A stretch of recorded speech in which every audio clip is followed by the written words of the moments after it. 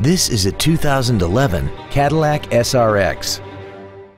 This crossover has a 6-speed automatic transmission, a 2.8-liter V6, and all-wheel drive.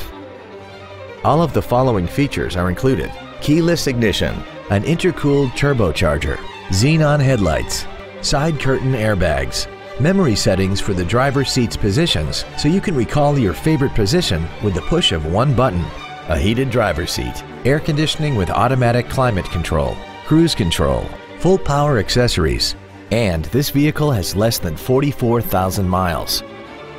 We hope you found this video informative. Please contact us today.